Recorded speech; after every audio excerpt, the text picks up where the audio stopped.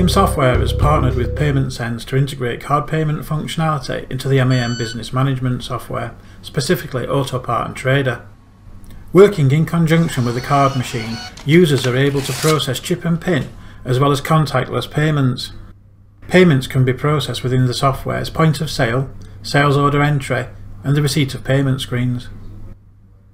Once set up, if you want to take a payment via PaymentSense, you can raise a sale as normal as if a credit card payment is being used to trigger the method of payment screen. Click on the PaySense button, then the credit card processing screen will show all available devices. All the devices will have been given a user-determined alias and description to help identify them. Select the device you want to use. Then you click OK and the credit card processing screen will inform the user of the transaction's progress.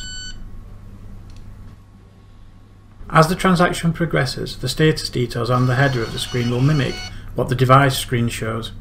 The user will be guided through the process via prompts. If the transaction is successful, status details on the header of the screen will reflect this. Click Quit. The user will be taken back to the method of payment screen, and if the full amount has been allocated, the sales process continues as normal and the transaction is finalised. If the transaction is declined, or if there are any other issues with the connection, the device text will notify the user of the reason the transaction will be voided. Click Quit and either select an alternative method or try again, maybe using a different device or card. It's possible to refund transactions back to a customer via PaymentSense from either the credit note screen or as a counter sale refund.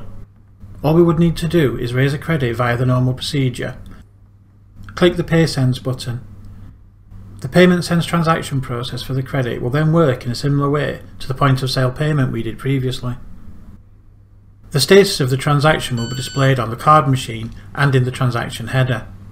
Once the credit has been authorised and the transaction completed, the status screen will reflect that this transaction was a refund.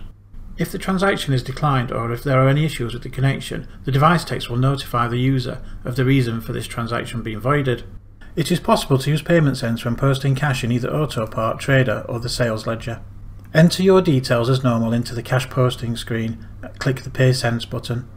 The transaction process will then perform in the same way as a sale raised in point of sale or sales order processing. Pay later transactions can also be paid via PaymentSense in the receipt of payment screen. After the credit card transaction is completed, the card machine will print out any required receipts. The MAM Business Management System will then complete its transaction, and the correct document containing the card transaction details will be produced. For example, an invoice, a credit, or even a cash slip. There are two standard reports available for PaymentSense. The first report is a summary which will show the device transaction totals for each branch, by date, by type of card used. The second report is a detailed report which shows all device transactions by branch date and type of card. As part of the PaymentSense credit card system, the end of day report needs to be printed for each device. These specific reports are printed on the devices themselves. Thanks for watching. I do hope you found this short tutorial useful. If you would like to be kept up to date with the ongoing developments at MAM Software, then please follow us on social media, YouTube and our community portal.